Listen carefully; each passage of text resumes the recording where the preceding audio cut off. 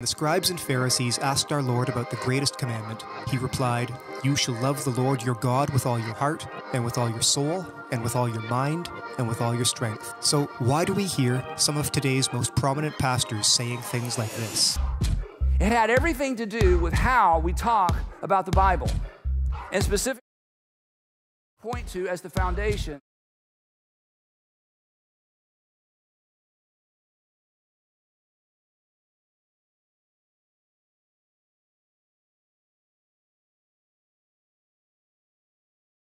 We need to love the Lord with all of our souls and respond to the worldview issues of our day with the wisdom and discernment that comes only from Him. We need to love the Lord with our minds and understand the calling of God's people in every area of life in God's world. We need to love the Lord our God with all our strength and face the work of building a life giving, God honoring culture. Join us for 10 days at the Runner Academy for Cultural Leadership as we consider how the gospel influences all of life and culture and the role that we have to play in applying foundational Christian thinking to every area of life.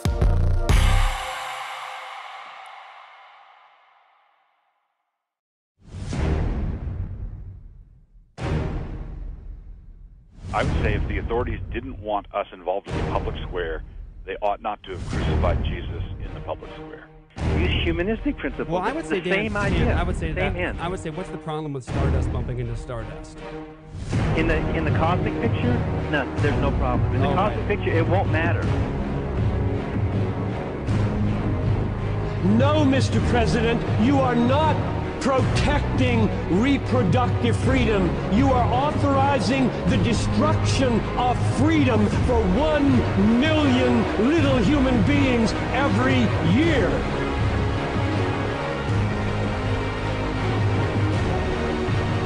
I'm sorry, my friends, but I am tired of seeing Jesus presented as a weak beggar. He is a powerful Savior, and the gospel is not a suggestion, it is a command.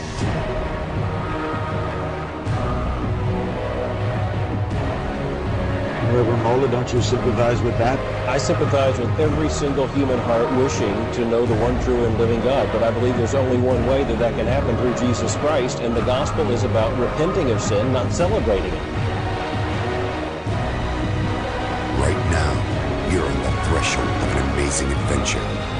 We will explore the spiritual abyss. You have not experienced this before. You're gonna love it. Jesus said to them, I am the bread of life. Whoever comes to me shall not hunger, and whoever believes in me shall never thirst. But I said to you that you have seen me and yet do not believe. All that the Father gives me will come to me, and whoever comes to me I will never cast out. For I have come down from heaven, not to do my own will, but the will of him who sent me. And this is the will of him who sent me, that I should lose nothing of all that he has given me, but raise it up on the last day. For this is the will of my Father, that everyone who looks on the Son and believes in him should have eternal life, and I will raise him up on the last day. John chapter 6, everybody. It's a big one. It's a big one. Get it. That's really the summary of much of what we're saying in this uh, Apologia Radio series, Defending Calvinism. Today we're talking about total depravity or total inability. Welcome back to another episode of Apologia Radio. This is the gospel heard around the world.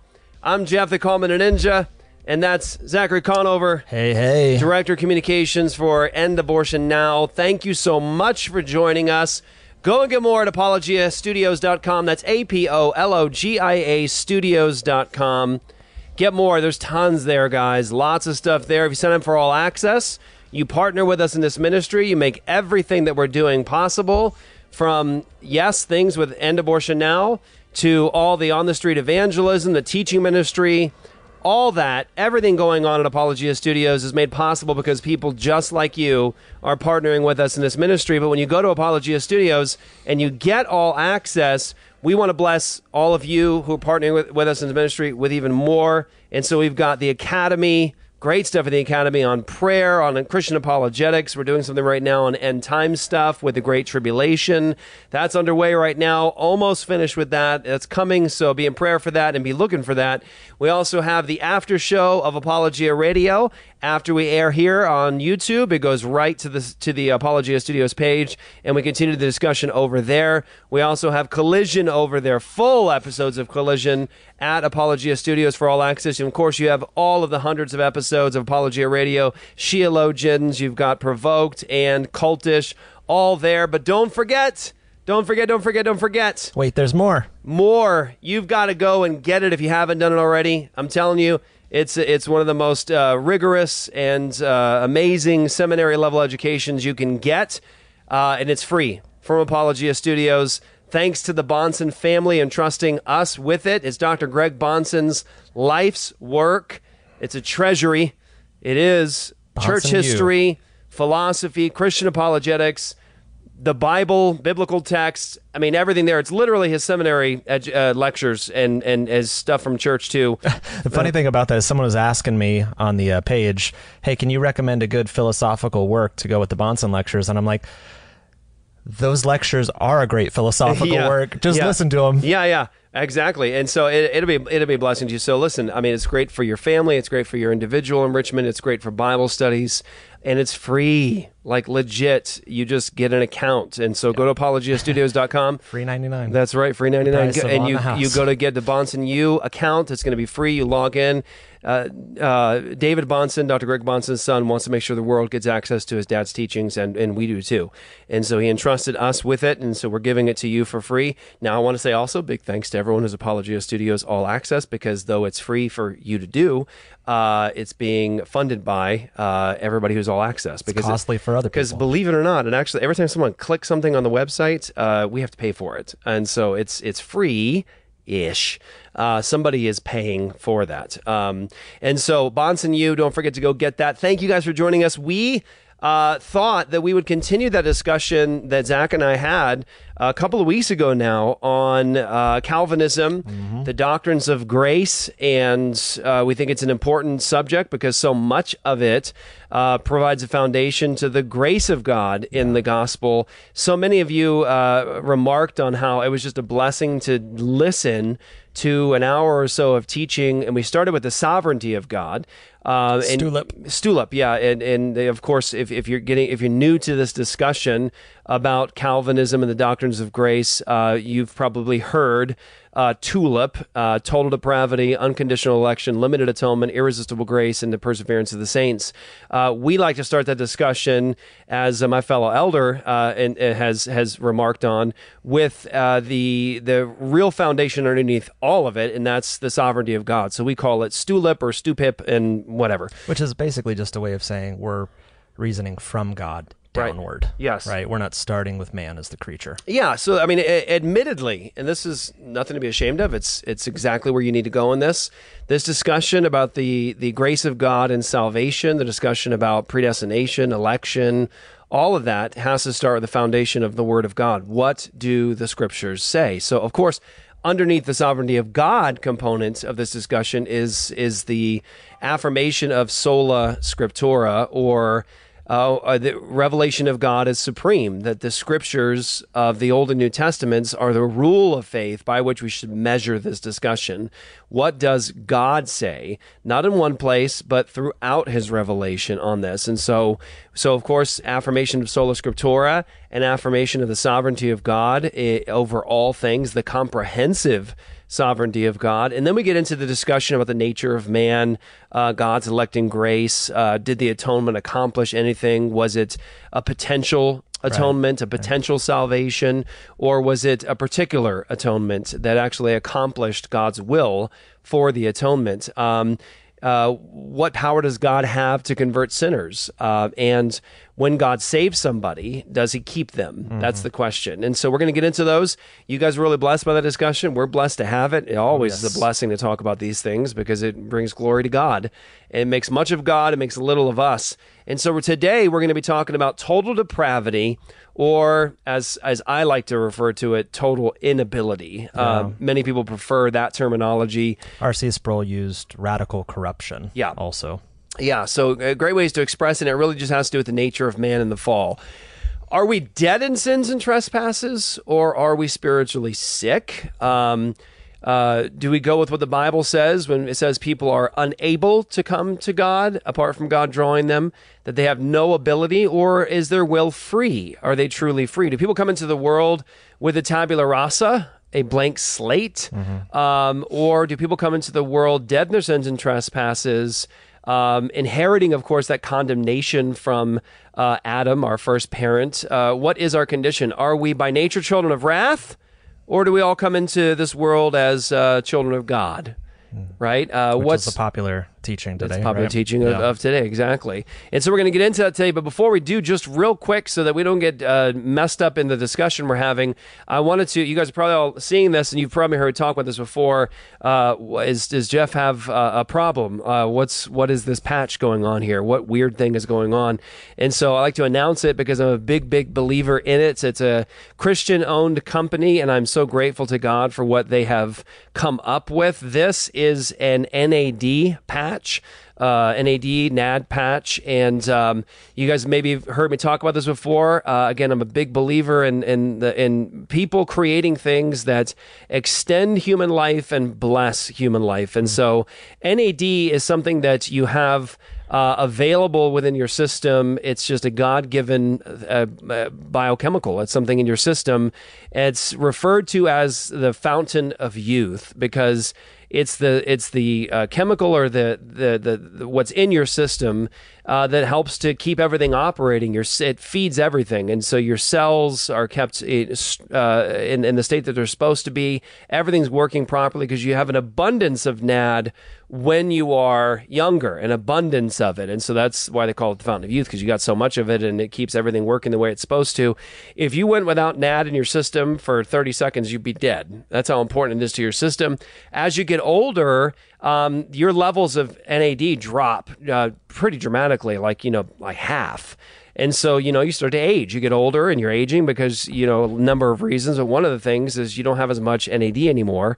And so, a lot of people, uh, wealthy people, uh, uh, sports stars, athletes, all that stuff, they've been in on the NAD for a long time. And what they have done, you may even heard uh, Joe Rogan talking about it when he got the the vid. Um, he did uh, NAD IV treatment, and he also did uh, some other stuff. But he announced it, and so people were like, "What's NAD?" Uh, but NAD has been used for a long time, helping people recover, get their systems back online. Um, but the problem is, and this is what I was always afraid of it. The problem is, is that NAD through an IV, everyone knows is torture. I, I, I don't exactly. I know there's a reason why, and you can look it up. But it's it, it's torture. People talk about having an elephant on their chest. It's it's it's very very difficult to and endure. more costly to obtain. Yeah, yeah. It's like an hour long process to get that IV drip to happen. And sometimes people say they have to just stop midway and say, turn it, just turn it off. And as soon as you turn it off, like it stops. But as soon as you turn it back on, that drip is happening. It's like really, really uh, painful. So people do it anyways because the benefits of like get that Beauty is pain. yeah, get that NAD drip, and then like you, like my friend said, it felt like you're Iron Man. You can like knock down walls afterwards. And my friend, good friend of mine, someone I love dearly, um, a famous baseball player, um, after a hip replacement surgery, he did it, and he was like exercising a week later or something. It's just insane to get a hip surgery and then or hip replacement and then be working out like that. And so anyway, uh, my wife and I uh, got connected to this company, Ion Layer. And Ion Layer does it through a patch, so you don't have the torture of the IV drip. And like Zach said, it is significantly cheaper. You're looking at like eight hundred dollars for a drip. So they've made it more accessible. Yeah, and this is a medical patch uh, where it gets into your system over like 14 hours, and you you you just skip over all the pain and all the difficulty, and you actually get fresh NAD because you mix it yourself. And um, you get a, a lot of it. And so it's just way, way cheaper. And it's just such a blessing to our bodies and human life. You may have heard me mention that um, when I started taking it, and my, my clarity of thought was so much better. Um, I was able to think without fog. I was like really impressed with that. Felt like a lot of really clean, amazing energy. Not like caffeine. Just I felt good. I felt healthy, good. I felt really, really good, vibrant. My wife had like uh, the long vid symptoms where she had no, uh, she had favorite smells were all like they smelled like sewage. Uh, coffee tasted like garbage, all that stuff for like two years. And she thought she was to be stuck with it for life. I mean, she legitimately thought this this is just what I got to deal with. Coffee's to taste like hot garbage. And uh, so we got these in, gave it to her, and it was like, I think three days later. And she was like, I got two of my smells and tastes back. Now, take that for what it is.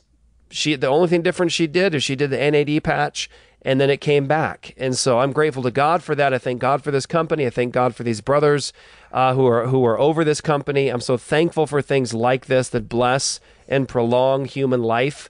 Um, and so yeah, so if you go to ionlayer.com ionlayer.com and you go put in apologia in the uh, i think it's all caps in the coupon code uh, they give you a big discount love them uh, I have to be just be honest as we as we have these discussions in a show like this. So many people have uh, regularly asked us to be a part of Apologia Radio and to have their stuff put on Apologia Radio.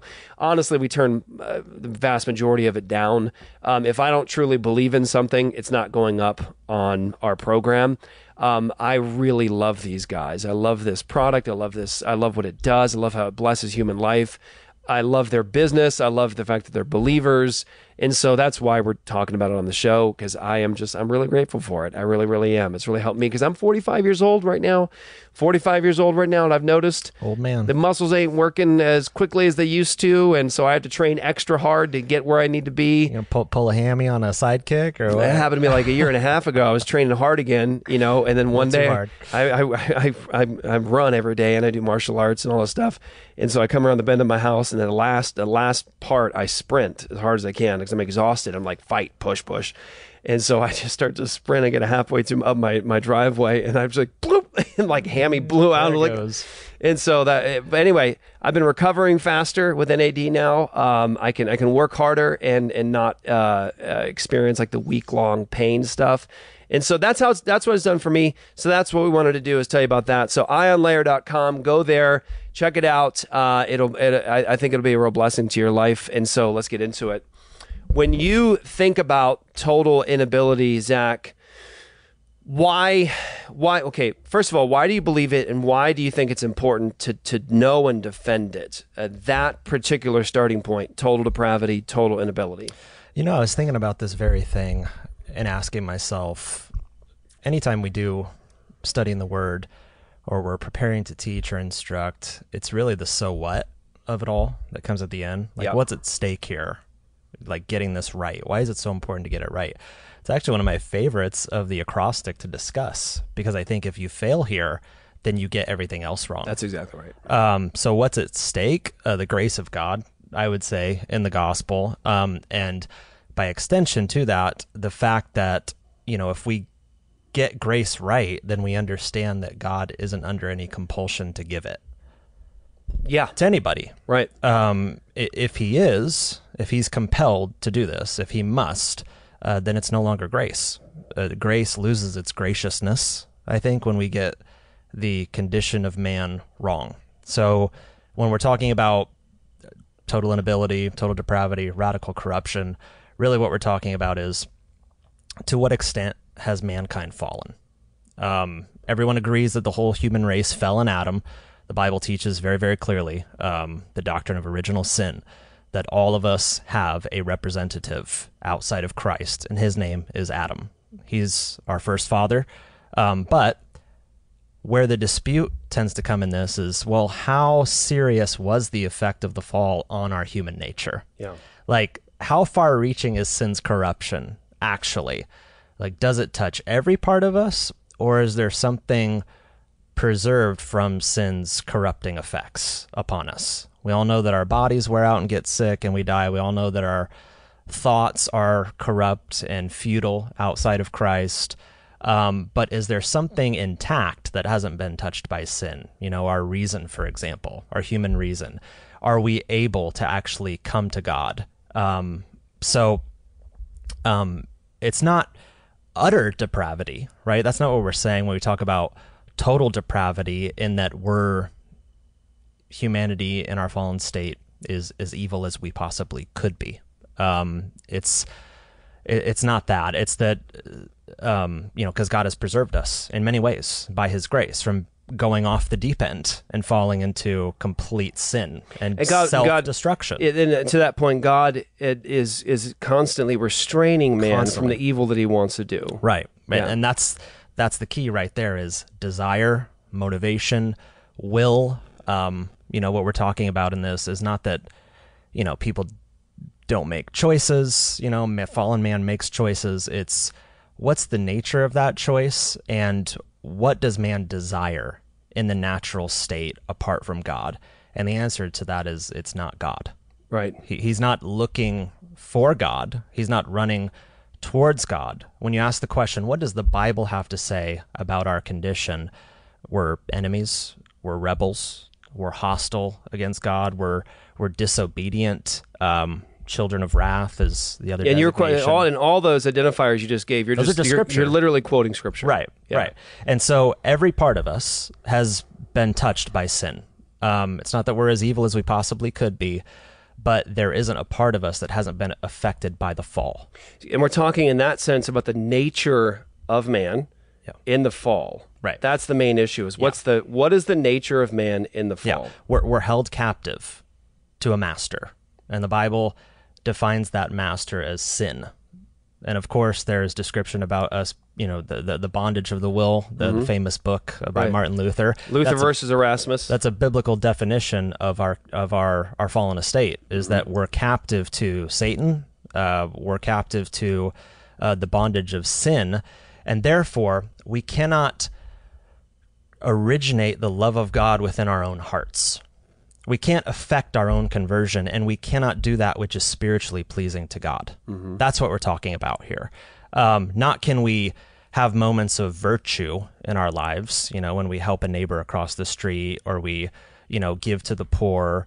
Unbelievers can do those things too Mhm. by Mhm. common grace. There's atheist charities. Yeah. Um, but there's a, uh, Loraine Boettner referred to this as even in man's charity, there's a fatal defect in yeah, his yeah, goodness. yeah. I'm glad you brought that up. Yeah. There's a fatal defect in his goodness, and that is his motivations are all wrong. He's not doing it for the glory of God. and he's not doing it in a dependence upon God's power Right. to carry it out because he thinks that he is self-originating, self-sustaining, self-existent apparently Yeah. um, in his idolatrous condition, in his desire to be completely separate from God, which by the way is how the Bible refers to um, how we are. You know, we, we, we don't want God in our knowledge. Mm-hmm. Uh, we don't want the the reminders of God in creation It's all Romans- around Romans us, 1. constantly screaming at us Yeah. that He exists, Yeah. that He's the Creator, and that we're accountable to Him.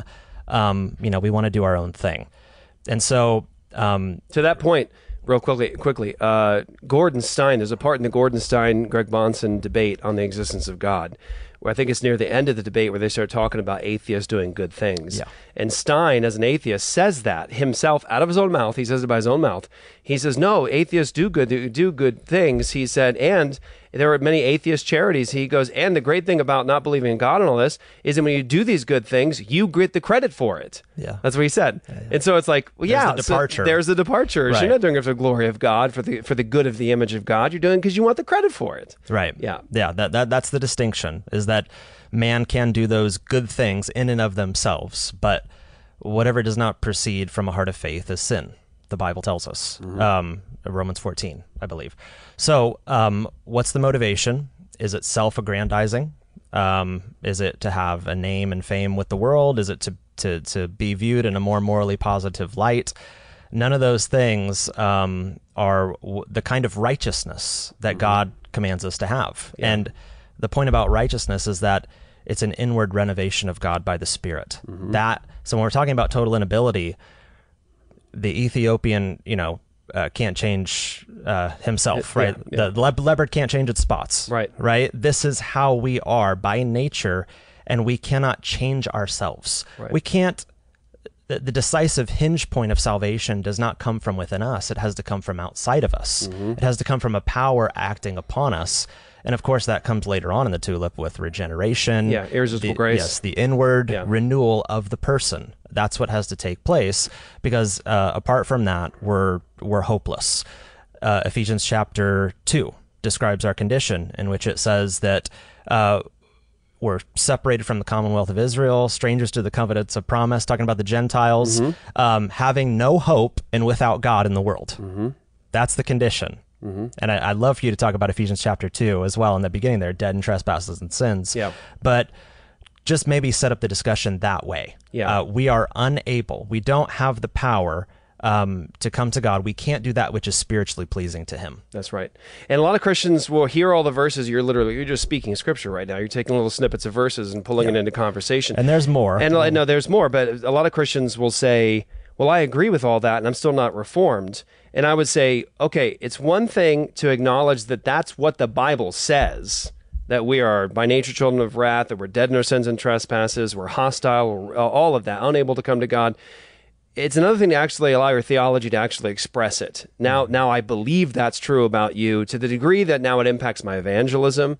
Precisely. It, it impacts my view of man and the grace of God and salvation. So the real question here with Tulip is just this: How gracious is God's grace? That's the key issue.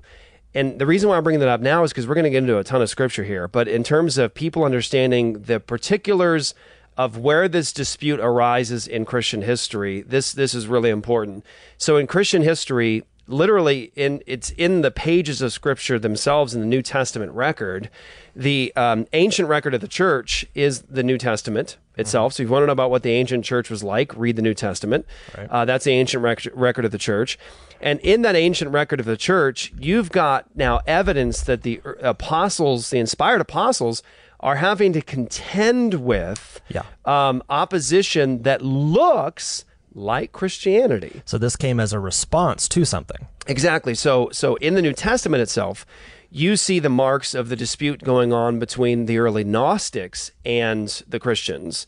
Hmm. And the early Gnostics were using Christian language. They were borrowing Christian terminology, but they were seen as enemies of the Christian church. And so you've got the Apostle John and the Apostle Paul dealing with the early beginnings of Gnosticism. It's my point is is like they're having they're having to deal with heretical and apostate theology in the pages of the New Testament itself. And then you get out of the apostolic era and you move into the second century. And now what are you dealing with? Well, the church has to contend with other things like, again, Gnosticism. Uh, they are the enemies of the Christian church. So the second century of the church, Christians are now having to deal with, these are the disciples of the apostles. They're having to deal with the Gnostics. And then you have like Marcion and you've got the attempt to pull sort of a Andy Stanley of the second Yeah. century, and that's The to- OG the- Andy yeah, Stanley. the OG Andy Stanley in a sense, and and detach the Old Testament scriptures from the New Testament, and so they're having to deal with that nonsense, and the early Christian church having to deal with Sabellianism and modalism, and as you start to move forward in history, let's just be honest, not everything is on the map in terms of theological disputes.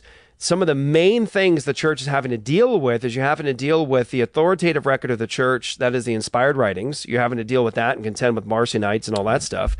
But you're also having to deal in those first few centuries, I mean, in a big way, like the premier issues, the big ticket items is the nature of God, the deity of the Lord Jesus Christ, because then you start Right. moving forward. And now what are you dealing with? Well, you're dealing with issues like Arianism, Bishop mm-hmm. Arius of Alexandria. You got to fight against that heretic who's teaching, you know, a Unitarian perspective and that Jesus is this first and greatest creation of, of God sort of a thing, like early on, that, that kind of thing. And so the church is not having to fight every single spiritual battle at once in the first few centuries. There's sort of like the big ticket items like the Trinity. Who is God? Who is God, the deity of Christ. You're dealing with those kind of big ticket items. Now, as time goes on, though, yeah, you're dealing with like Augustine has to deal with Pelagius, and you got, of course, Augustine isn't is is is squarely on the side of the Reformation when it comes to like monergism, in so many ways. Like, look. Uh, you're going to find a mess in Christian history. It's a beautiful mess.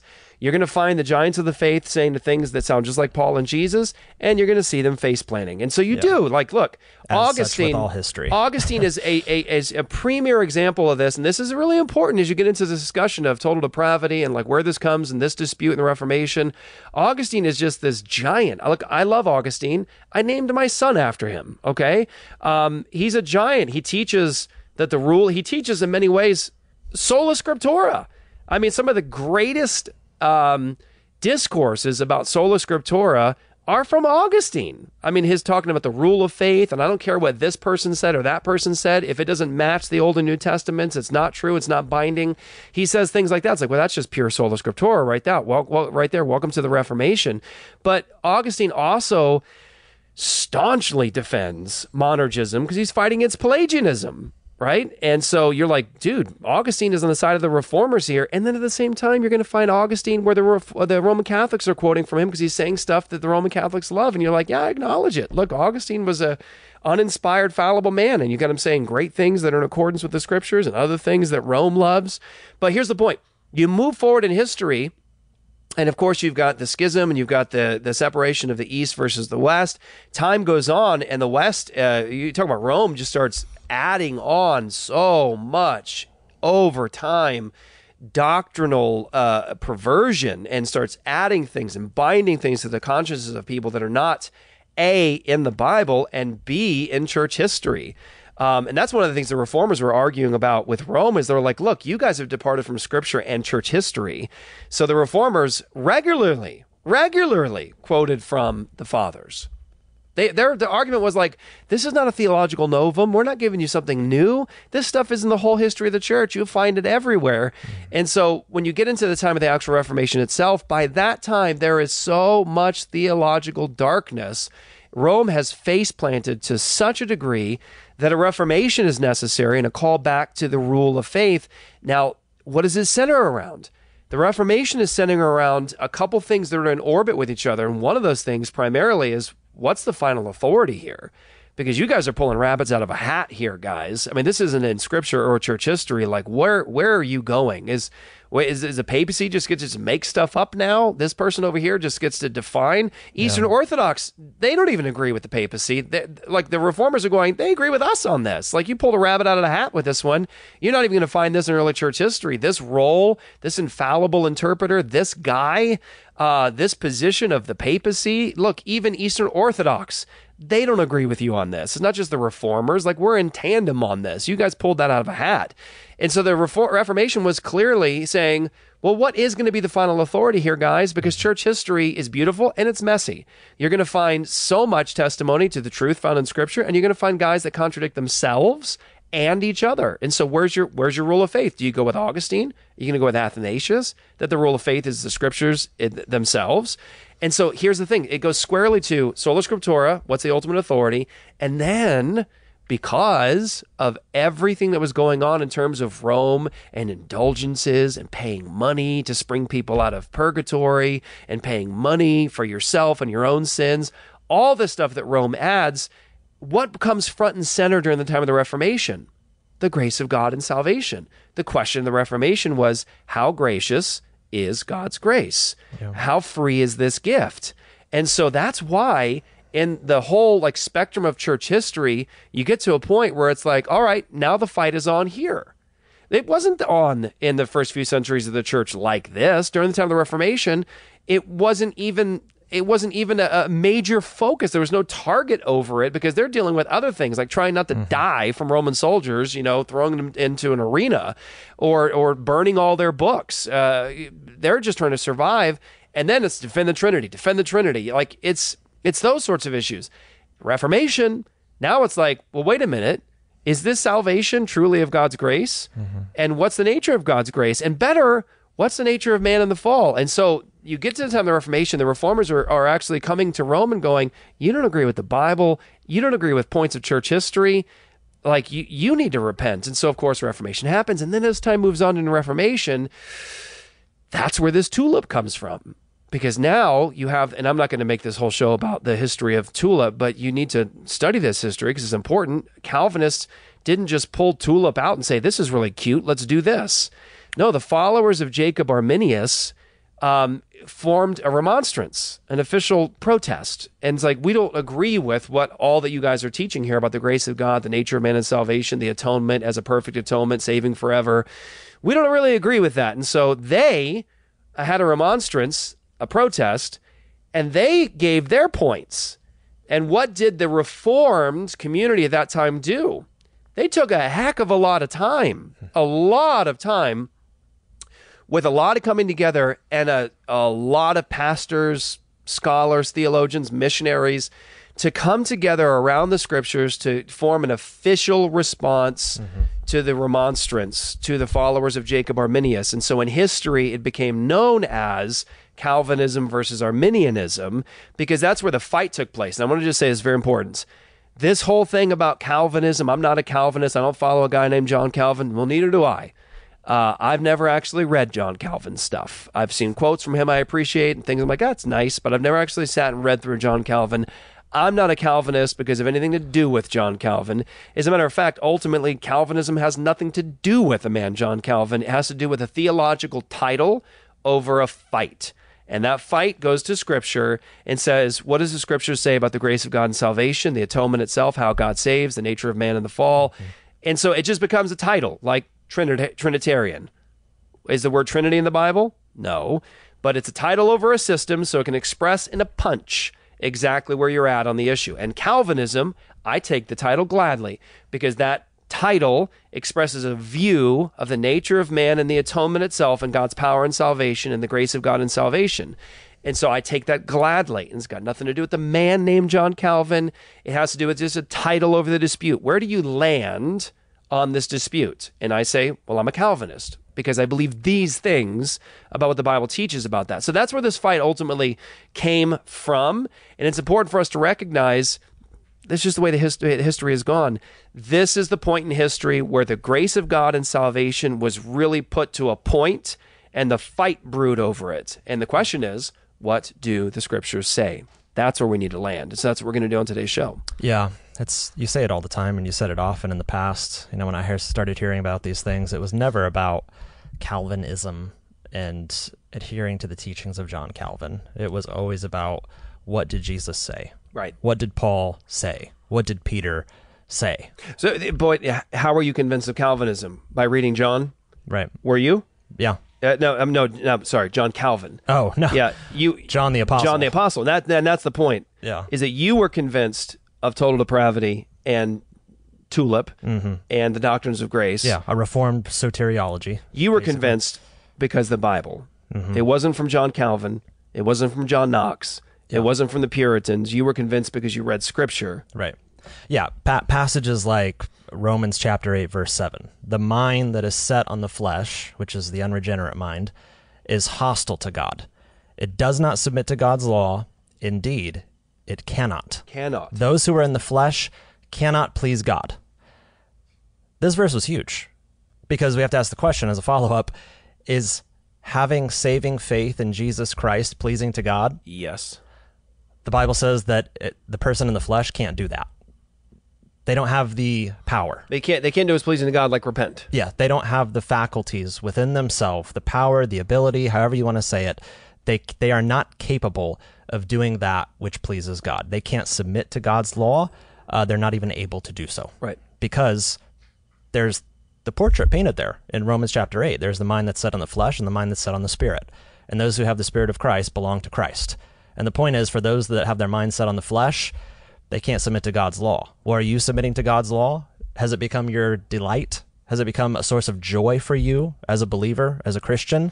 Um, that when there's no condemnation for those who are in Christ Jesus, um, and yet the Spirit is alive within you to actually facilitate and cultivate these desires now because you see the gospel as something that is excellent and beauty and praiseworthy and lovely and something that's worthy of your whole life, and you actually have a desire to obey God now. Well, that's the mind that's set on the Spirit. You can please God, but not the mindset on the flesh not the natural man in his unregenerate state. So when someone hears the gospel presented to them in an unregenerate, carnal, worldly state, they can even affirm it as historically true. They could say, yes, yeah, okay, that happened.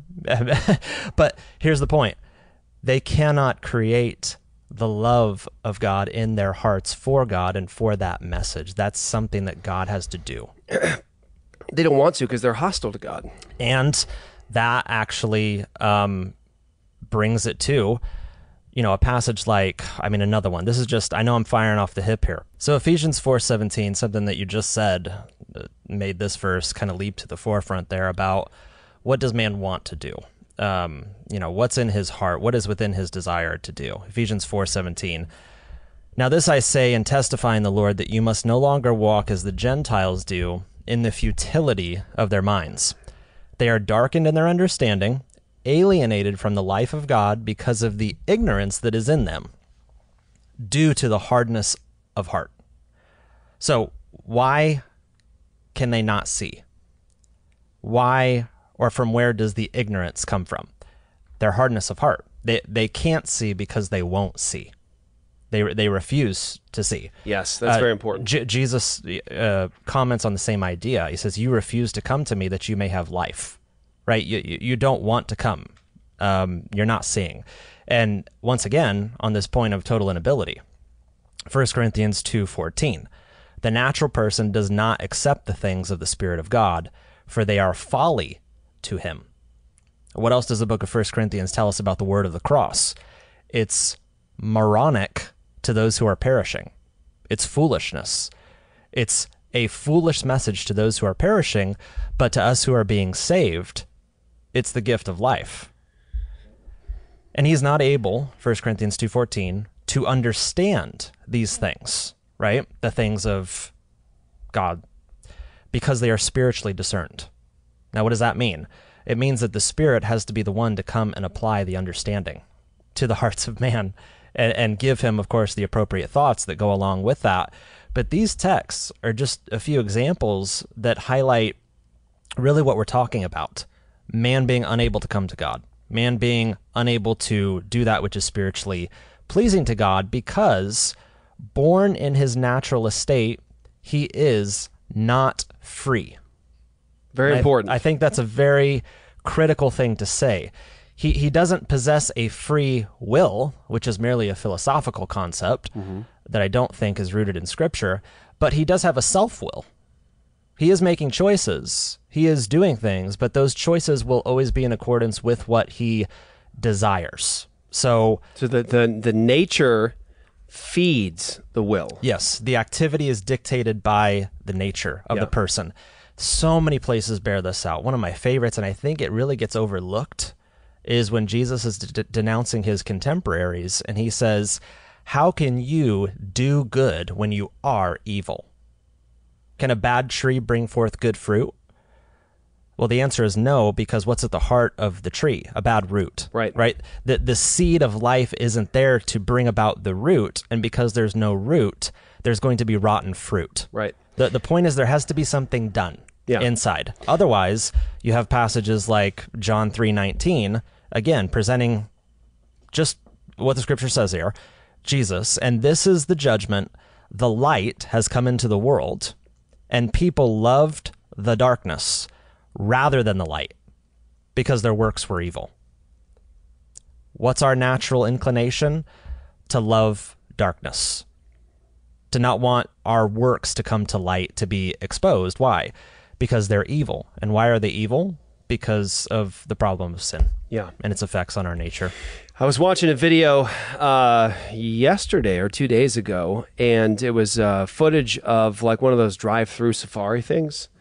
You know, people drive through safaris where there's like like real lions. And, yeah, like you know- walking alongside the cars. Yeah, exactly. Those Yeah. things are terrifying. Yeah. Monkeys are jumping up on your on your rolled up. hood and they're you know pulling off your windshield wipers and you're pulling off the side like, view two- mirrors. yeah. Well, it was uh, it was footage, security footage of of uh, of a car that was driving through one of those um, uh, drive through safaris, and the car stops and this foolish woman jumps out of the car, passenger side of the car, runs over to the driver's side. Now, the description of the video is like woman gets attacked by lion because she decides to have a dispute with her husband or something like that. So I don't know if that's really what was going on. It looked like it was going on. Like the car stops, the woman jumps out, she comes over to the driver's side, looks like she's like having words with the driver.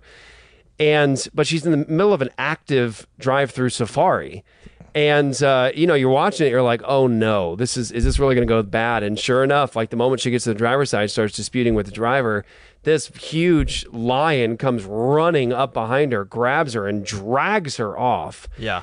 and the, I I saw this the one. driver jumps out of the car and he's like freaking out like he didn't know what to do and everything and it's like everyone's freaking out it's like well and if you ask the question like well why is why would the lion do that Yeah. and the answer is because it's a lion Right. right. it's doing It's his nature. what is his nature to do. Lions do which is why you don't hang out in parks with like lions walking around. Why? Because you know that that lion will do lion stuff. Yeah. And which means it'll it'll involve you in a way you don't want. And so like the same thing goes with like this this video I just saw this morning. Uh, this guy on a Florida uh, highway gets out of his car and there's a the alligator. Uh, or, or crocodile. I never. I always get it mixed up. I don't know which was which. Uh, Honestly, don't know how to. it's just apart. walking down the highway, and he's like, he's he's standing above it. He's like, yeah, ah, yelling at it, and he's like like smacking Oh, its nose. smart. And I'm like, you buffoon! Like, what? Just you know, why why do that? But he's trying to get it off the highway. But and you're thinking like. Why does it why does it bring so much anxiety when you see things like that? Because you know the nature of the alligator. Yeah. You know what it's capable of. It's not You- a bunny rabbit. You know what it wants to do. And so the thing is, is that what we're saying about the nature of man in the fall is that he's making choices. He's not a robot. Look, we have to honestly represent our opponents, right? Mm-hmm. It's very important. Christians have a tendency at times to fall off of cliffs either side. Christians have a tendency, all of us do, to be imbalanced. And Christians, the one thing we shouldn't do is ever misrepresent somebody because we're lying. We're lying about them. So I don't want to mi- misrepresent an opponent. I don't want to give a fiction about what they believe. And I certainly don't want to attack a straw man. We're not helping anything when we attack a straw man. So when someone says, like, I don't believe in Calvinism or Reformed theology, it makes men robots and all the rest. It's like, um, you know, if God has already determined who's, who's going to save, nothing matters. Why are you bothering Right. praying? I would actually turn it back on the Arminian and I would say, oh, why are you praying? Because if you don't Yeah. think God can mess with his free will and, you know, God's done everything he can, but he, the mighty will of the creature will thwart God's uh, desire, why are you praying? Um, Yeah. I'm praying because I believe that God decrees the ends as well as the means. Right. And uh, so, all that to say, um, when we talk about this this issue, we're not talking about human beings as robots or that they're making decisions apart from their own nature and will. They're doing what they want to do. Yeah. God is not having anybody sin against their will. Right. So, like, even when God hardens the heart of Pharaoh to sin against God, like Pharaoh is a rebel against God, hates God, hates God's people, wants to sin against God. When God hardens his heart judicially, so that he's even more sinful and rebellious, Yeah. even to the point where he's not God's not going to allow him to preserve his own skin, right? Like, no, no, I'm going to let you be as hard as you are. I'm going to let you be as hard as you want to be. I'm going to harden your heart so you are going to just go down that that that pit of sin as far as you want to go. When God hardens his heart, he's not making Pharaoh uh, do what he doesn't want to do. Pharaoh loves to be hard. Pharaoh loves to sin against God. Pharaoh hates God. And so, even when God, if for his own sovereign purposes, is directing, say, the Gentiles, the peoples of Israel, Pilate, Pontius Pilate, and Herod, to do what they did, even when he allows them to do what they did and decrees that they would, they're doing what they want to do. And if they could have gotten their hands on Jesus and killed him any earlier, they would have. And by the way, they tried. Yeah. Uh, but, it, wasn't, his time. Yeah, right. And he says, No one takes my life from me. I lay down of my own accord. It was only when God had predetermined that this would occur that it actually occurred. And the point is, is that Herod, Pontius Pilate, the peoples of Israel, and Gentiles were doing what they wanted to do. They hate God. Yep. And if they hate, listen, humans are so sinful. I've said this often. Humans are so sinful and rebellious against God. We hate God so much that if God could get himself off his throne and come down here and get flesh on him, we would kill him. And we did. Right. And and that's the key and when issue. we can't get a hold of him, like the day and age we now live in, we'll go after his image bearers. Oh, kill it. Yeah, exactly. Those that bear his image uh, Right. of the most innocence. Yes, very good. Talking about the issue of abortion. Exactly. So uh, the issue about the will is not people are robots. They're doing. They're just doing. You know, they don't even know what's going on. They're just sort of droning on. No, they're making choices, but the nature feeds the will. Right. They are doing what is in accordance with their nature. And so what we're saying is is that people are enslaved to sin, like Jesus says, and unless the Son sets you free, you'll be free indeed. So slaves don't sound free to me. Jesus says whoever commits sin is a slave of sin. So I don't know where we ever get the concept biblically of people have a free will. Jesus says they're enslaved and he has to set you free. So we're saying that mm-hmm. your mm-hmm. will is enslaved, it's in bondage because your nature is a son or daughter of Adam and Eve. You are in the fall, Romans 5 12 and 19. Sin came into the world through one man, and death through sin. So death spread to all men because all sinned. By the one man's disobedience, the many were made sinners. So look, like it or lump it, that's what the Bible teaches. Right. You don't like original sin? Hey, neither did Pelagius. But it's the historic teaching of the church, baby. And so it's not just the historic teaching of the church, it's what the Bible teaches. You are either in Adam, Romans 5, or you're in Christ. One has condemnation and death, rebellion, hostility, and one has the gift of eternal life and righteousness. So you're in one of two representatives. And if you're in Adam, it says that you're dead, it says that you're condemned. And so that's the state of man in the fall. His nature is fallen, his will is fed by his nature. He does fallen things because he's a fallen person. So That's right. Um, 2 Timothy 2 24. It's a passage talking about the Lord's servant, uh, the minister, the servant of God's word. He must be quarrelsome, must not be quarrelsome, but kind to everyone, able to I was teach. say, I felt- that felt weird. Hopefully, he won't be, he won't be quarrelsome. Something was off there. he must not be quarrelsome, but kind to everyone, able to teach, patiently enduring evil, correcting his opponents with gentleness. God may perhaps grant them repentance, leading to a knowledge of the truth, and they may come to their senses and escape from the snare of the devil after being captured by him to, To do his will. will. Yeah. So, once again, speaking about the slavery Yeah. of mankind, he is a bondage to sin. Romans chapter 6, what's that glorious passage all about when God actually takes us and unites us to Christ, right? Which is symbolized through baptism. And now Jesus has joined his life to ours, and we're in him, safe, clothed in his righteousness. His spirit now lives within us. His presence is actually bringing about the life that God requires. And we have a new master. We've been delivered from the dominion of darkness and brought into the kingdom of God's beloved Son. And we don't serve the old master anymore. Now we can actually bring forth works that are pleasing to God because the nature has changed. There's something different now that wasn't there before. And that something different that we're talking about, of course, is the grace of God. And the idea behind this is that He's the one that must provide that. It, man cannot even prepare himself unto salvation. That's the, the the level of his inability. So not only can he not convert himself, but he can't even abide by the preparatory uh, things to to get close. Yeah. God's the one that has to do this whole thing. Well, and, and it's as simple as, as Romans chapter 3. There is no God seeker. Right. Now, look, here's the thing. It's one of those things as a Christian, it's like you read that a thousand times. It's like, but do you actually allow Yeah. that truth and its implications come into your theology? Yeah. There is none righteous, no, not one. There is none who seeks for God. So if nobody in the world is righteous and no one seeking God, pray tell, how does anybody do it? Yeah. And the answer has to be found in the sovereign God of Scripture and not in ourselves. Mm-hmm. Because, you know, we can just give the, the wave of the hand, like, yeah, I believe those verses. No, hold on now. Wait, wait, wait, wait. Wait, you're seeking God though. Wait, wait, wait, wait, I'm seeking God. Wait just a second. When you talk about this free will and, and all this stuff, uh, it says that no one seeks for God. So how does anybody do it if no one does it? No one's seeking God. And the answer is going to be found squarely in Scripture. It's like this is something that God does. God grants repentance. God grants faith. Philippians 1.29, Ephesians 2, 8, and 9.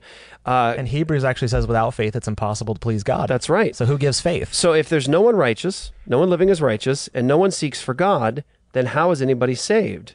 And the answer has to be found in God and With his God all things are possible. Exactly, and his accomplished work and what he does in salvation. And the problem is, is this dispute gets to a place where there's so many people that will give the wave of the hand at the scriptures and say, "Well, yeah, yeah, yeah, I believe all that," but it still has to be a cooperative effort sort of Yeah. situation. It's like still got to be the synergistic two things working together in tandem. God and me, we're working together, sort of as a joint effort in salvation. Yeah. And it's like, well, wait a second, no, no, no, no, no, no. Allow those verses to really tell the story, because what we're saying is, Reformed folks and Calvinists who believe in the doctrines of grace, I really believe those texts. Mm-hmm. I believe they're true. I believe that we're unable to come to God unless the Father draws us. And if the Father draws me, I will be raised up. That's the promise of Jesus in John 6 44. I believe Romans chapter 3. All that catena of verses from Romans 3 that tells the whole story of the depravity of man and the sinfulness of man, not righteous, not good, non God seeking, poison of asps under their lips, no fear of God before their eyes. I really believe that. I believe that's the state of the person taking my order at Starbucks who doesn't know Jesus. Yeah. That super sweet barista or the, the crazy zany person at Dutch Bros that will not shut up. I know they talk so like, much. and how you doing? Okay, as nice and as sweet as they are, and the common grace that's there, right? I believe that if they don't know Jesus, they are not righteous, they're not good, they're non-God seeking, mm-hmm. and they will not pursue God because Romans chapter one clearly says, Everybody knows the true God. They all know the true God. Romans chapter 1, it says the problem is that they suppress the truth and unrighteousness. And why is there so many false religions in the world?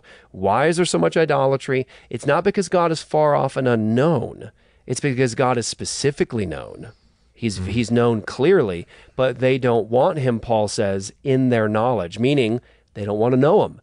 They don't want to think about him. They don't want to know him. They suppress the truth of God and unrighteousness, and they switch the true God for an idol. And so the point uh, there is that even in Paul's description of like this, this, this, this portrait of humanity in the fall, that they know the true God, they suppress the truth of God. The point is, is that they're not doing this in ignorance. Yeah. They're doing it knowingly, willingly, but they're self deceived. Yes. We're not saying that the unbeliever is walking around going, I know the true God and I hate him and I'm going to pretend like I don't. Right. The point the There's point is a schism. It's self-deception. Right. They are so sinful and rebellious that they are self-deceived. And so what do people do? They choose the creature Mm-hmm. rather than the creator. They choose like idolatry is so stupid. I was talking about this at church what two weekends ago. I was like, it's so stupid. Like you got people like that, that put these like stupid little idols up in their restaurants and like little cat, little gold cat, a little arm flapping up and down or something like that, or like this Buddha or something like that. It's like it's so dumb. Yeah. Powered by a motor that has to be maintained Right, and right. repaired when it breaks. Right. Do you realize how dumb this is? Like this is This so is dumb. you're bowing down This is so dumb. Like this was made from the stuff that God produced. Yeah. With a human being that God made to put this on a on a stand and it doesn't move. It's dumb. It's deaf. It's non-seeing. It's non-hearing. It doesn't benefit you at all, and you worship this thing, and you go, "That's so foolish." And the point is, is that foolishness is actually uh, they're culpable for it Yeah. because they know the true God according to Paul, but they don't want him in their knowledge, so they suppress the truth of God and unrighteousness. And they are what? It says in Romans 1 enemies of God. That's how the Bible talks about the relationship of fallen man and the true God, is that they are enemies of God. Hostile to God. Ephesians chapter 2 says they are by nature children of wrath, not children of God via adoption. They are by nature children of wrath. And Paul says, You're dead in your sins and trespasses the, the, the standard evangelical out there, or even the Roman Catholic. I want to say, like, do you, look, do we really believe that? Does that have any meaning at mm-hmm. all, or is it just is it just hyperbole? Is it just some sort of poetic language, or is it actually the consistent thematic thing throughout Scripture? You're dead. You're condemned. You're hostile to God. You're an enemy of God. You know the true God. You switch him for idols. You're unable to come to God, and that's total inability. Can we get that whole verse there? Which one? Ephesians 2. Yeah. And you are dead in the trespasses and sins in which you once walked, following the course of this world, following the prince of the power of the air, the spirit that is now at work in the sons of disobedience, among whom we all once lived in the passions of our flesh, carrying out the desires of the body and the mind, and were by nature children of wrath like the rest of mankind. Like the rest of mankind. Like the rest of Like mankind. everybody else. Like everybody else belonging to the unregenerate, carnal, worldly pattern and mindset that, that you have been delivered from. You've Yeah. been redeemed from this. Yeah. So this is what you once were, because there comes that beautiful uh, truth that packs a punch in verse four. But God, Yeah. God who is rich in mercy, right? When you didn't deserve this, uh, you weren't looking for it. He did this. By grace have you been saved. Yeah, and by the way, that it's important to note in terms of context, not proof texting, whole discourses in context. Ephesians 2 comes right after Ephesians one And Ephesians 1 is that really sticky section about, Yeah, from about three- verse three to 14. Yeah, he chose us in him before the foundation of the world. He chose us in him before the foundation of the world. Now that that starts off with the whole discussion of predestination and what God does, and then it moves into here's where you were, Yeah. dead in your sins and trespasses. But then what you pointed out is four. Ephesians 2 4 says, But God, being rich in mercy because of the great love with which he loved us, even when we were dead in our trespasses, made us alive together with Christ. And then he defines it by grace, you have been saved. Huge. Made us alive. Yeah, so That's what we're talking here's about. what's key, and I want to just encourage everyone, just to I'm humbly encourage you, just think about this. He's just talked about predestination, choosing us in Christ before the foundation of the world. And then he goes into describing our condition before God saved us. You were dead, by nature children of wrath, and that being dead has to mean something. Does it mean it? Like you were dead, spiritually dead, a, a, by nature a child of wrath? The Walking He's- Dead. He says, but God, he says, made us alive. Who did the aliving there? Mhm. God did. Yep. God made us alive together with him. And he says this, ready? By grace, you've been saved. So for, and this is so key. And that, not of yourself. Yeah, he says, Right. dead, but God made you alive. By grace, you've been saved. So for Paul in Ephesians 2, this is really key. We love, we love as Christians to quote Ephesians 2, 8 through 9. Yeah. Um, by grace, you've been saved, and you're already all finishing for me right now. You're finishing it. By grace, you've been saved through faith, and that not of yourselves. It is a gift of God, not according to works, lest any man should boast. We all know that by heart. I hope you know it by heart. But notice that that Ephesians 2, 8, and 9 comes after Ephesians 4, and he's already defined what the grace part means. That's right, yeah. You were dead. God made you alive. By grace, you've been saved. So, if you want to read Ephesians 2 8 and 9 in its real context, he already told you what the by grace part means. Right. And that was that you were dead and God made you alive. Oh, and it's also through faith. And that, the grace and the faith, not of yourselves, the gift of God, not according to works. Could the Apostle Paul, the inspired apostle, be any clearer as to what our nature was? what our plight was and how God corrected it, and all to his glory. And even when it says in Ephesians 2 8 and 9 that this is not of us, not according to works, lest any man should boast, he says in verse 10, watch this, for we are his workmanship, created in Christ Jesus for good works, which God prepared beforehand that we should walk in them. It's like from the beginning to the end, it's God, God, God, God raising your life, God giving you faith and God preparing beforehand the works that you would walk in, the good works that you would do. It's God, God, God, God, God, nothing to do with you. And, and, and I said this, and I'll hand this over to you. I said this when I taught on the comprehensive sovereignty of God two weeks ago. We find this offensive Right. Because we're so prideful. We've got to have some part in this. Yeah. It's not just, I said, unbelievers that find the sovereignty of God offensive. Oh, no. They don't want his rule. Like it's obvious. You, the average unbeliever, you get like, why are they mad at the sovereignty of God? Mm-hmm. Because they don't like God being king and reigning over all things and being in control. Like they're already at war with this God. So you get why like they hate the sovereignty of God, His rule, His reign. But there are also professing Christians. I made the point that also hate this truth of the sovereignty of God because there's still some bit of of pride, human pride, and If it's true, there's no claim for you to it. what do you have to boast whatsoever. in? It's all God. You mean it's all God? Yeah, none of you. You mean it had nothing to do with? No, nothing to do with you. You weren't smarter. You weren't stronger. You weren't more spiritual. You didn't understand more. It was God, God, God. Because you and I were not righteous, not good, and you weren't seeking for God. He was seeking you. By grace, you've been saved. He raised you up. Yeah. Several objections in the realm of evangelism, even. People don't want to believe that those that they come across could be hostile to God, enemies of God, this sweet person in front of me that just seems confused and in need of more information. Um, and then even, you know, people themselves just, they make comments like, well, if that's the God you're talking about, I don't know if I could believe in a God like that. Mm-hmm. You know, I don't believe. I don't know if I could believe in the God of Matthew eleven twenty seven. At that time, Jesus declared, I thank you, Father, Lord of heaven and earth, that you have hidden these things from the wise and understanding and revealed them to little children. Wait, he did what? so you he have? Jesus, you have Jesus praising the Father for hiding truth from somebody. Yep. People don't like that. Yes, Father, for such was your gracious will. Gracious. That was gracious of you to do that, Father. Yeah. um, again, um, you know, the Father raises the dead and gives them life, but so also He is uh, the the Son gives life to whom He will.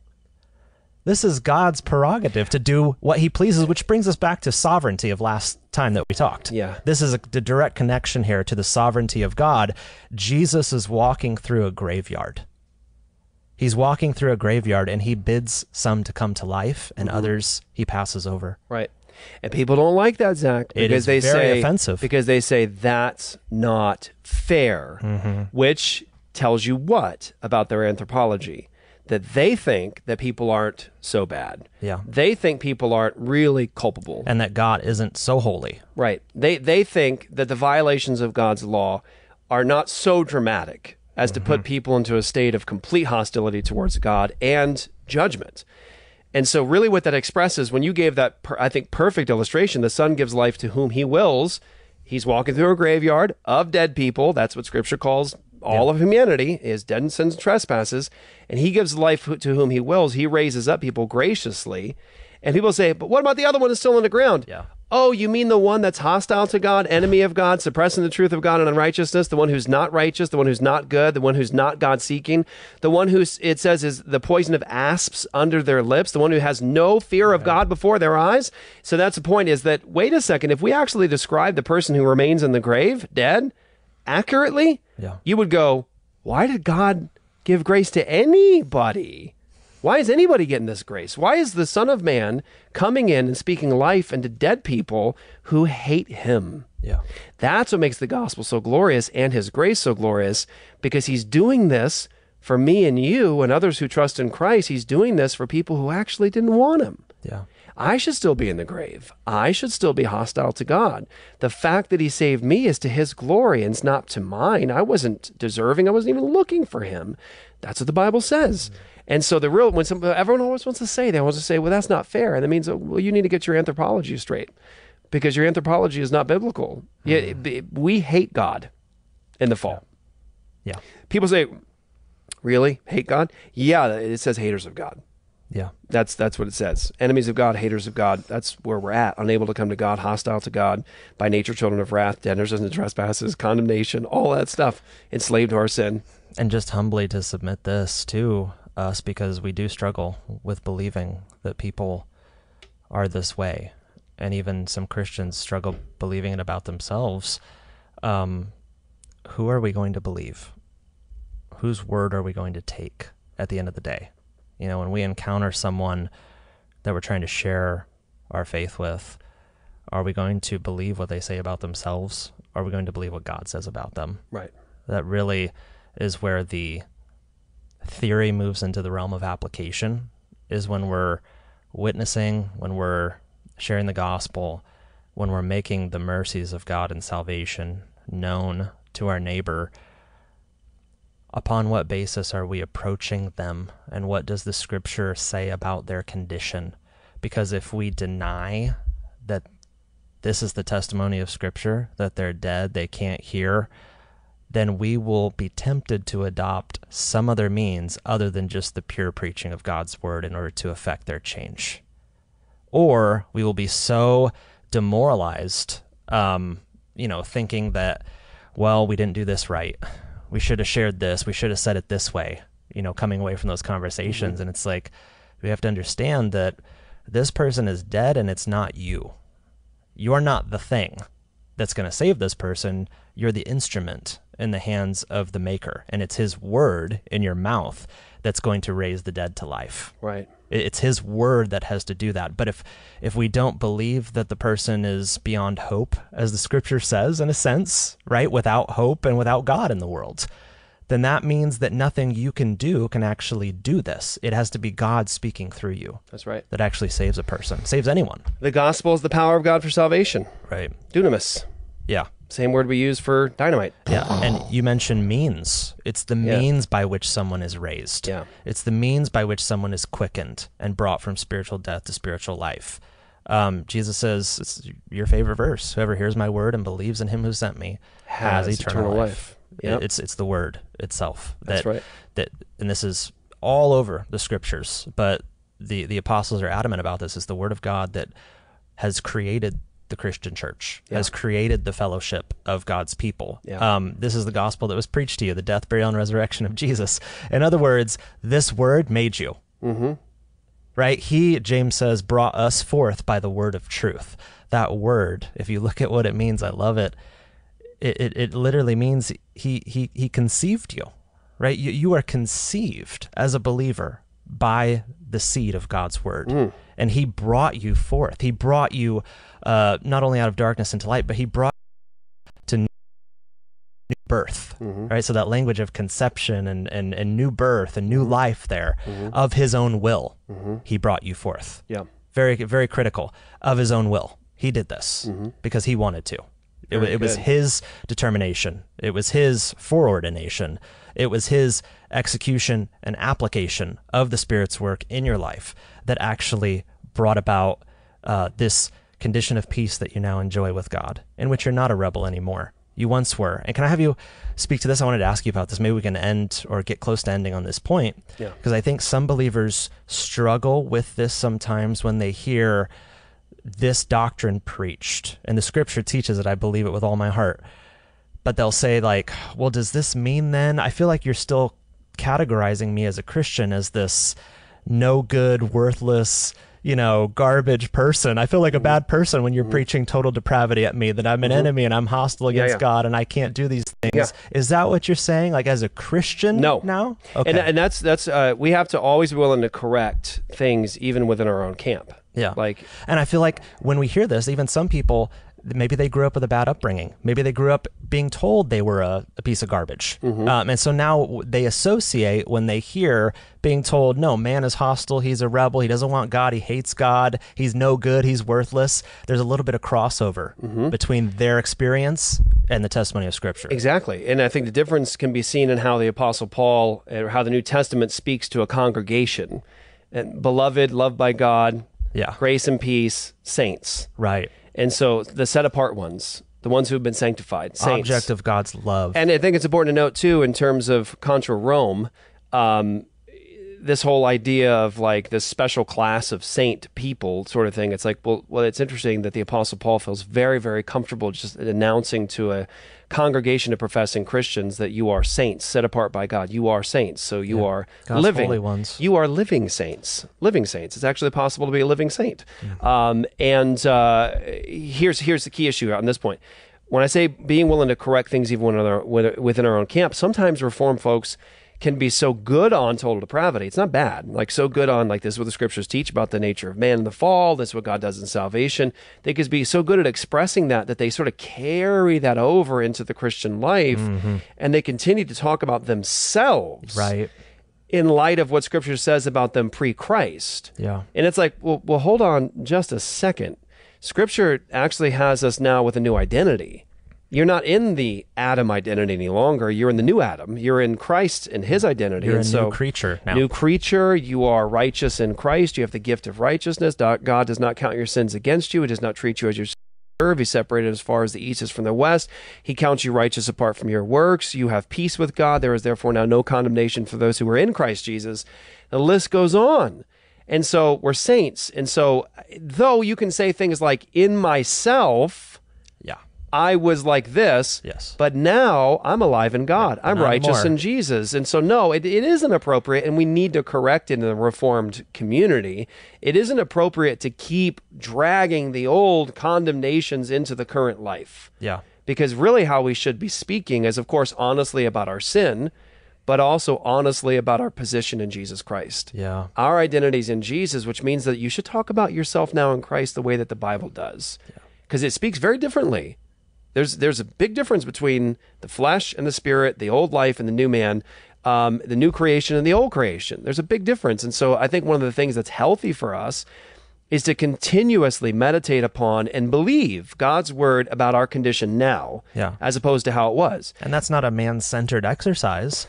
That's a delight in what God says about his child. You're landing right on his word. This is the declaration Yeah. that he has spoken over you. He I- sings over you. I'm arguing the opposite. I'm arguing that you better stop looking to man, stop looking to your own inner monologue, stop looking to your circumstances, and just believe what the Father says about his children. because the more you delight in what God says about you, the more glorified he is. Right. Right? At the end of the day. Yeah. At the end of the day, if you're more satisfied in God, he's more glorified. Yeah. I mean, that's the point of Piper and all his works. Yeah. Is that if you are enjoying your status, if you go into God's presence knowing that you're fully accepted, that there's nothing you have to bring in order to gain entry into the very throne room itself, that you're going there with the stamp of God's approval on you, with an advocate who will never fail you. Who With a perfect sacrifice. Yes, and his record is is has no blot in it. There's no stain That's that affects your entry uh, before him into his presence, and he'll always hear your prayers and you know, he'll always make sure that the deficiency in your prayers is even taken to the throne room and given everything that it needs to be acceptable and pleasing in even your stupid- sight. even your stupid prayers. even your hey Lord, it's me again. yeah.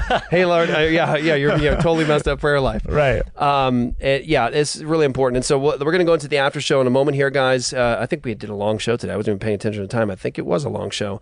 So we're doing an after show in just a moment here. Meet us over at apologiastudios.com. But I want to at least pull the text we're going to start to talk about, and we're just going to do two in the after show, really big ones, discourses from the Lord Jesus. I started the show today reading from John 6. Uh, John's my favorite gospel, and John 6 and John 10 are two of my favorite sections of John. I love all of John, but I love them because it's, it's so intimate. It's so intimate about Jesus' love for me and his people and like the promise that he has. So I read to you the part about Jesus says it's the will of the Father that he, Jesus, loses none of all that the Father has given to him. So the Father has given people to Jesus. That sounds like Ephesians 1. Right. The Father has given people to Jesus, and Jesus says that it's the will. I've come down to do the will of my Father, and that's to lose none of them.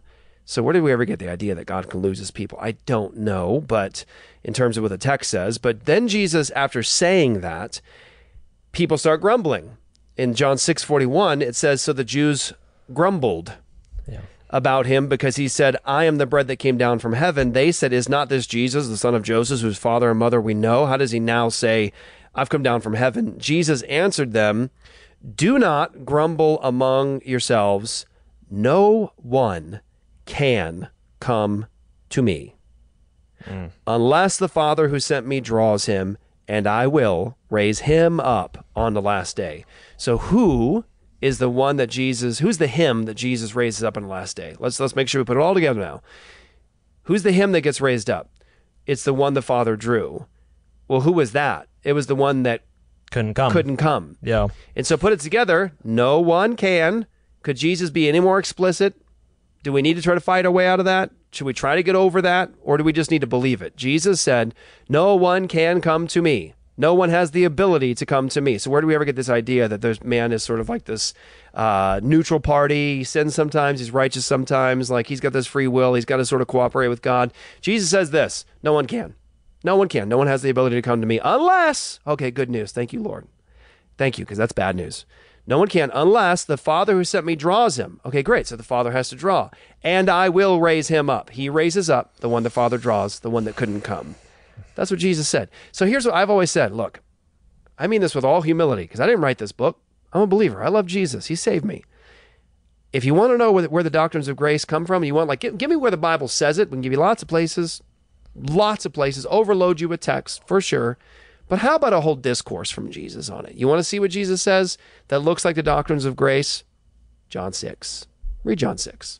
You'll see it all there. There's a people chosen by the Father, given to Jesus to never lose, to raise up in the last day, and none of them could come apart from God drawing them. And Jesus says, I will raise them up. I will not fail to do it.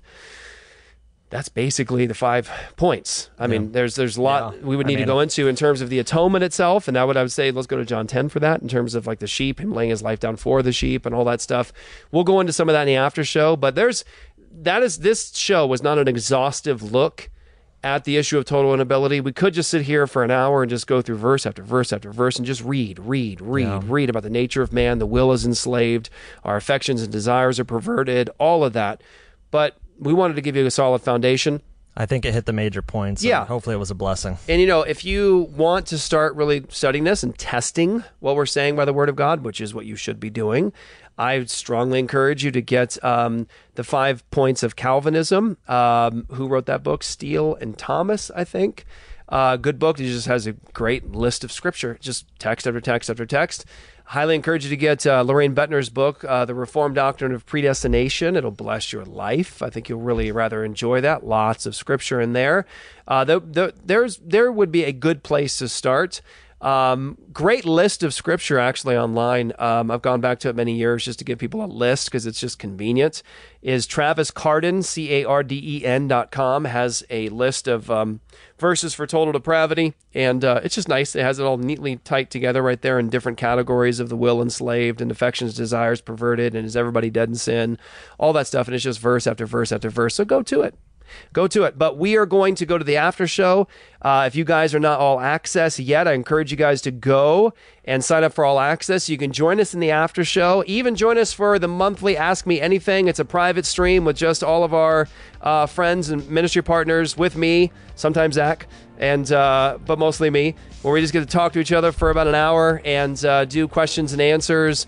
Again, we love to bring you guys into this and bless you as much as we possibly can. So go to apologiastudios.com. Meet us in the after show. We're going to talk more about total depravity, total inability in our series, Defending Calvinism. Thank you guys so much. I am Jeff. They call me the Ninja. That is Zachary Conover. See you guys. God Don't- bless. Don't forget to go to endabortionnow.com. Go support us over there. We have a number of states coming up next session with bills of abolition. Praise the Lord for that. We need your help. We need your support, your financial support, your prayers for that. God bless you. We'll catch you on the other side.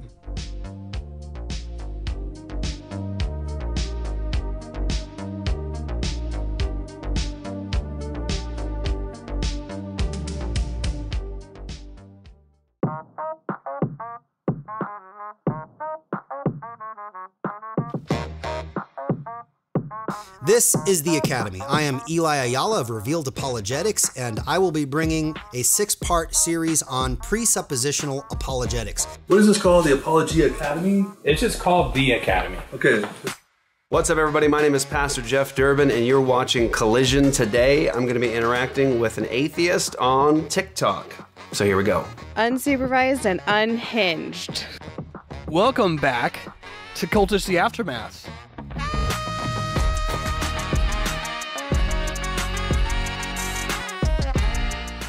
Hey, everybody, welcome back to another episode of Ask Me Anything. You are watching Apologia Radio's after show exclusively for all access.